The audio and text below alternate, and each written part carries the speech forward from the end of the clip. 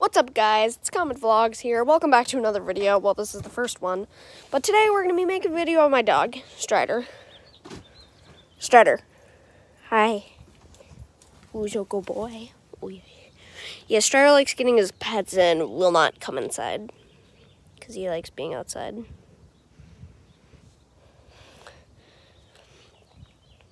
Strider, can you say hi? Can you? Straight. Come on.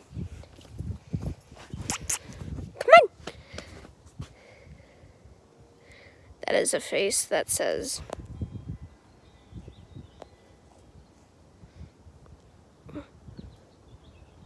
Yes. He clearly wants to come towards me. Look how well he's listening.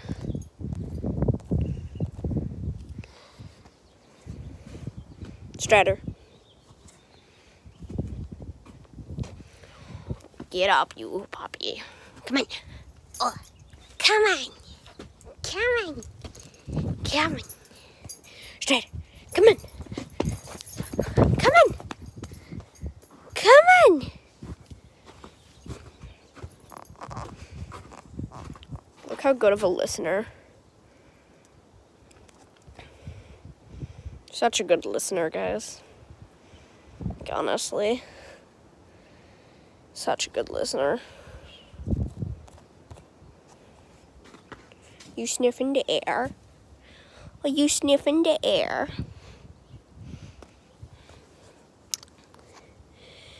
Yeah, you're sniffing the air, aren't you?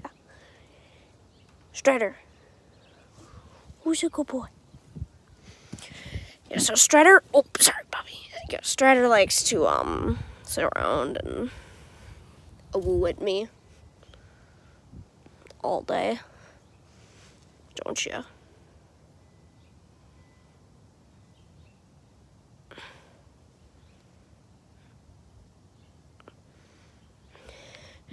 So Strider was an Alaskan Malamute who um, was abandoned on a reservation because we're assuming my parents and I assumed that he was like left there because someone bought a cute little Malamute puppy, thinking, "Oh, this will be easy to take care of." And then finding out how high energy they are, because they are very high energy animals and need lots of walks.